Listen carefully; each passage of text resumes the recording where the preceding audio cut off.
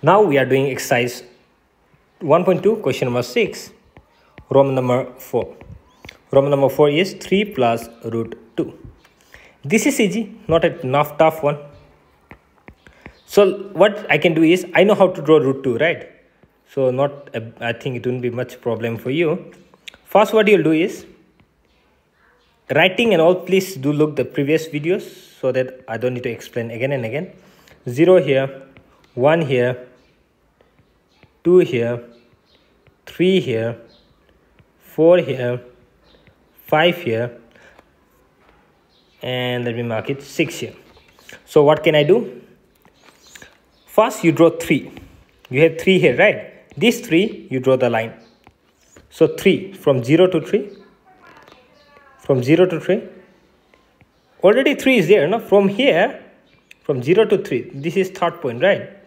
So from 0 to 3, it's already fill up. So what you'll do is from 3 point, okay, from point 3, so what you have to do is from 3, you do root, root 2. So how to do root 2?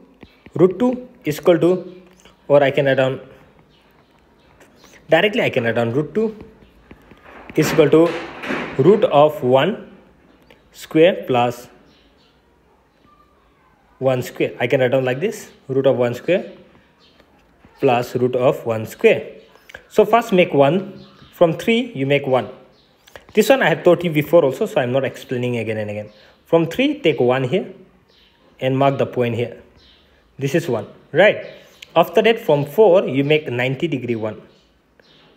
90 degree okay provided it must be 90 degree take protector and do please do that and join these two line oh what happened to my from there you draw a line and this represents and let me name it a b c.